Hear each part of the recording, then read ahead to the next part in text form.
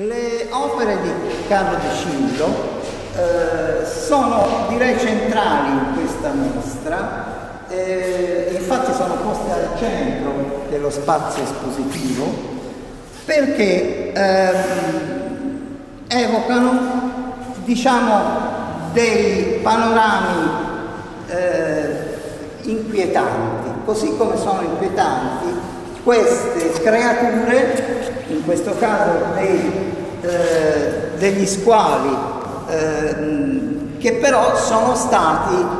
geneticamente modificati, come ci dice il titolo dell'opera. E quindi eh, da una parte restiamo colpiti dal fatto che delle uova di squalo possano schiudersi su una spiaggia, sulla sabbia, anzi direi che Di Cillo ci convince di questo, soprattutto per la perizia tecnica con cui sono fatte queste opere, con dei dettagli talmente realistici che ci ingannano. E quindi è come in un film horror oppure in un film di questi, delle tragedie dei, eh, che sono stati fatti, però eh, ci coinvolge a tal punto che ne, ne restiamo scossi. Eh, tant'è vero che eh, in, in, un secondo tempo poi ripensiamo a questo eh, che stiamo vedendo e avviene quello che eh, nella metafisica e nel surrealismo eh, si chiama straniamento, cioè praticamente abbiamo due input contrapposti che eh, si eh, combattono e quindi eh, dopo aver quasi amato queste creature eh, che stanno venendo fuori alla vita, stanno lottando, poi ci chiediamo ma eh, che cosa ne verrà fuori, quale sarà il nostro futuro. La stessa cosa ehm, che eh, viene guardando questo grande uovo che poi si chiama Alien Life. Alien Life. Alien Life e quindi chiaramente c'è un'allusione alla vita aliena, qualcosa di cui noi non sappiamo assolutamente niente. Però anche qua ci troviamo davanti a qualcosa di estremamente elaborato ma eh, realistico.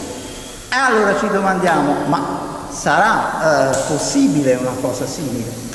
Tanto più che poi tutto quanto, eh, tutta quanta questa installazione è appoggiata sulla paglia,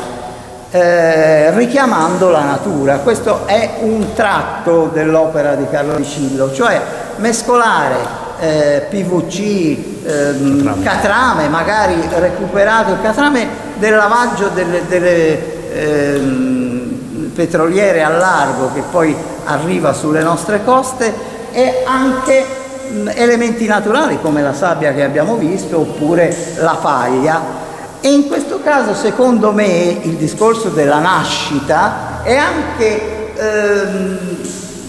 associato ha una nascita, un'altra nascita illustre, quella di Gesù che fu messo in una mangiatoia tra la paglia associazioni anche per noi sono inconsce, per cui il, eh, l'archetipo ambientale che propone Carlo Picillo è un archetipo che da una parte ci affascina, dall'altra ci angoscia, così come in questo eh, diciamo acquario che è un, una sorta di loculo dove è costretto un povero eh, squalo, tra l'altro inoffensivo. Poi c'è un, um, uno scheletro non meglio identificato e qui eh, il, il, nostro senso eh, di inquietudine aumenta Aumenta perché il fondo marino ricostruito ad hoc con delle cozze e delle conchiglie, la sabbia, le cozze e le conchiglie sono rifatte a mano, così come tutto fatto a mano, eh, il ricordo va a quello che sta succedendo, sia dal punto di vista dell'inquinamento marino, sia anche per eh, tutto quanto avviene in mare, per esempio in questo momento con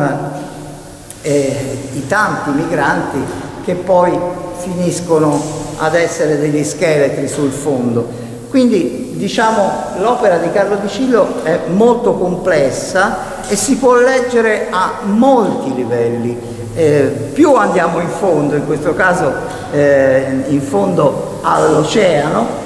e più troviamo significati.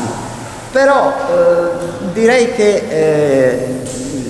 queste installazioni sono molto eh, forti e recuperano quello che è anche il ruolo dell'artista di coinvolgimento nell'evoluzione eh,